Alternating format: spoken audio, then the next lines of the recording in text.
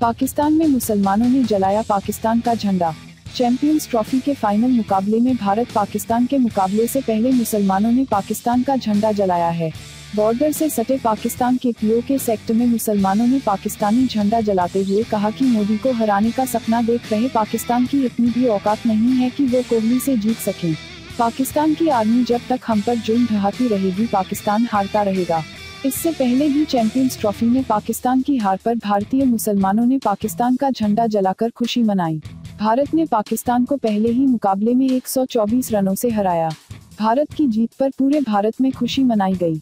भारतीय फैंस ने पाकिस्तान का मज़ाक उड़ाते हुए कहा कि ये हमारी टीम इंडिया से जीत नहीं पा रहे हैं और भारत से लड़ने का ख्वाब देख रहे हैं।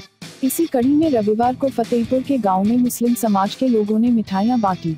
मीडिया से बातचीत पर लोगों ने कहा, देश का 25 करोड़ मुसलमान ही पाकिस्तान के लिए काफ़ी है। अगर सरहद पर मुसलमान गए तो पाकिस्तान दुनिया के नक्शे से मिट जाएगा। मुस्लिमों ने कहा, भारत ने जब जब पाकिस्तान से संबंध सुधारने की कोशिश की, तब तब पाकिस्तान सरकार ने धोखा देने का काम किया है। मुस्लिम समाज के लोगों ने कहा कि पाकिस्तानी सैनिक आतंकवादियों के साथ मिलकर हमारे सैनिकों की पीठ में पीछे से खंजर घूटने जैसा काम कर रहे हैं।